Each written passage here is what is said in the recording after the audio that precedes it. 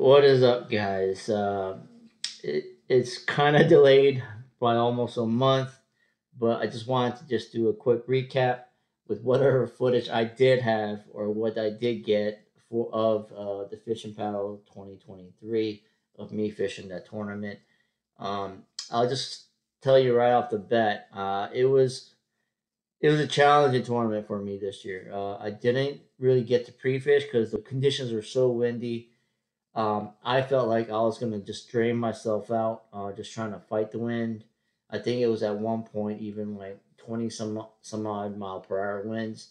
Um, there was even a, a, limitation on what waters you could fish this year because of uh, safety concerns. So the tournament director did kind of limit us to stay inside of the inlet. But all in all, I didn't get to pre-fish. I wasn't prepared. Um, we got out there on Saturday uh, and started off okay, but man, just as soon as the tide turned to an outgoing tide, um, the wind was coming from the south, the water's going out uh, towards the south, and obviously, as many of us know, that that fish quite a bit opposite wind and current is just gonna create a lot of chop and uh, you guys will see it in the video. It's just the water was messy. It was a lot of labor, a lot of work just to try to hold uh, certain grounds, and I just felt like I was kind of all over the place this year uh, when it came down to trying to fish the water. Um, but I'll go ahead and just go through the results real quick, at least for me. Um, first day, it was, it was tough, tough, tough day. Uh, I broke off six early, didn't get any more bites the rest of the day.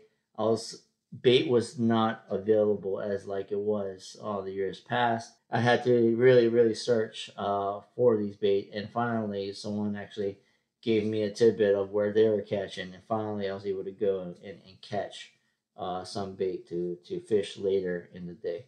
But pretty much, I would say at least half the day was spent um, chasing bait. Uh, and a lot of people that were fishing paddle tail, the water was a little murky, a little kind of more cloudy. Um, I don't know if people were catching really on the, the the, the lures and artificials, but what I did notice is that a lot of them were using much bigger jig heads.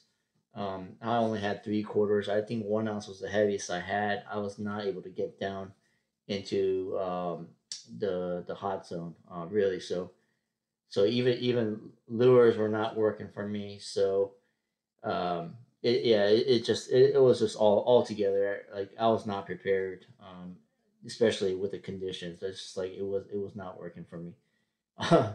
um, I mean, just even really going further, I probably caught a little bit of everything. Uh, I caught you know old T-shirts. I caught calico crabs. I caught a horseshoe crab. I mean you name it, a whole bunch of little tiny black sea bass. Uh, but it's just like I caught everything that you could possibly catch, probably in, in that in that uh in, in the sound there. But but definitely I could I, I could not get anything on my boat, uh, let alone get it off the pilings.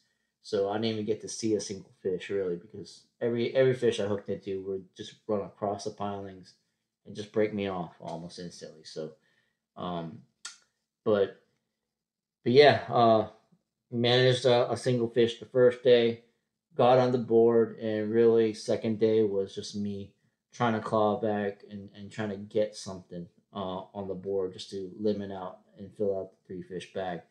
So that's pretty much the story. And I, I was able to manage uh, to get a couple good follow up fish on the second day uh, and I managed not to get on the, the podium, but I did manage to at least get into fourth place. Uh, and uh, I was honestly content with that, um, and I was just very satisfied. I mean, I was, I was very close to even getting into the top three, but um, but yeah, I mean, if you if you look at the fishingpaddle.com, I mean, you'll see that there were some monster sheepshead being caught. He got second monster rockfish or big rockfish. Uh, obviously, new rules this year with the slot four stripers. Very small window to catch, but he he got the top of the limit, uh, top of the uh, slot limit, and and it was heavy. So, um, kudos to him. Um, he got first, and uh, yeah, it's just I just couldn't get the the kicker fish. Um, that that's just what it came down to. So, but no regrets, no complaints. Uh, it was another fun tournament. Uh, just exciting just to be out there with with uh, with fellow kayak fishermen. It's just always fun, uh, always a good time, uh, and definitely um, going to be out there again next year. So if you guys weren't there, uh, I know that I'm talking about these terrible conditions, but um, if you guys work up to it and are, are looking for a good time, not easy, but a, very a good experience, I guess. Um, definitely look into the fish and paddle next year. I believe it's going to be the second to last weekend of June. Enough talking. I'm just going to just jump into the video uh, and we'll just roll through this and uh, let it play out. So, hope you guys enjoy. Yeah. Yeah, I caught probably like I lost count of a little little tiny black sea bass, nothing else. And I lost my net. I don't know how. Like it was in front of me the whole time. He's on the board.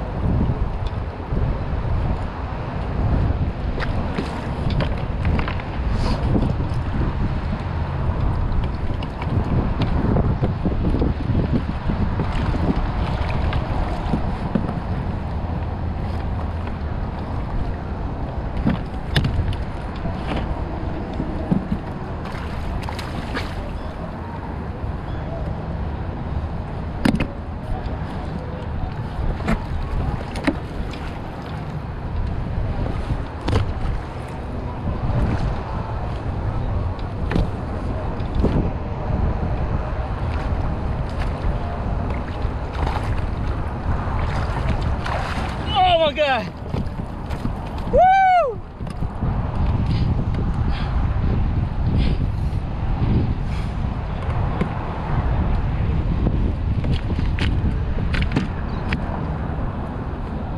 Oh yeah.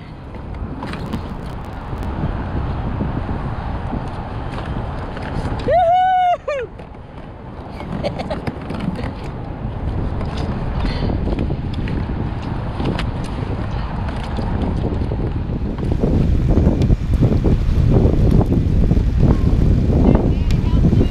What's that? Definitely. What's that? Yeah, I got one. Uh, Bluefish. Bluefish.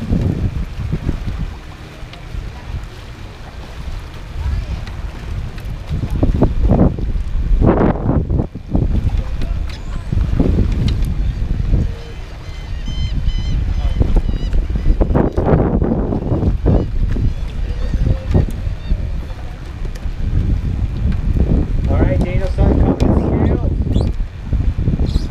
I'm assuming he's got bluefish. Stripers.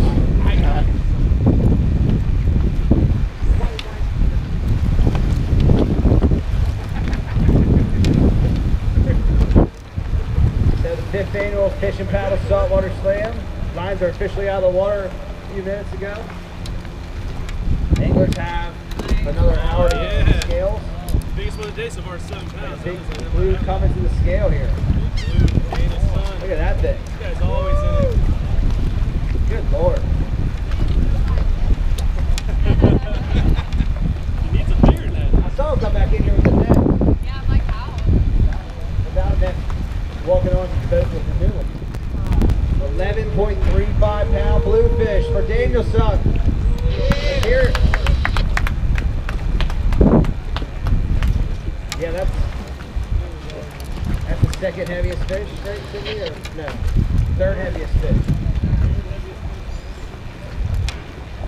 heaviest bluefish for the day.